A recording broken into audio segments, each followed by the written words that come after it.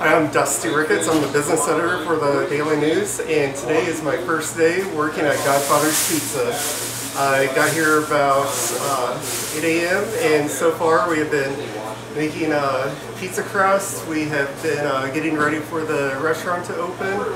It's uh, it's been non-stop. It's been a lot of fun.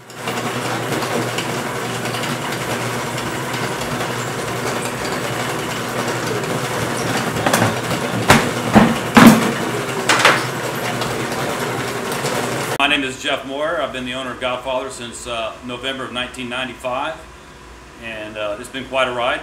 And um, I started here in 1986, 1986 as the assistant manager, and I got promoted to manager in 1988. And in 1994, basically had some life decisions to make, and I inquired about buying the restaurant. And at first, they I was uh, denied the opportunity to buy the restaurant, and a few months later, they had a change of heart and decided to uh, make me an offer that I couldn't refuse, much like our pizza.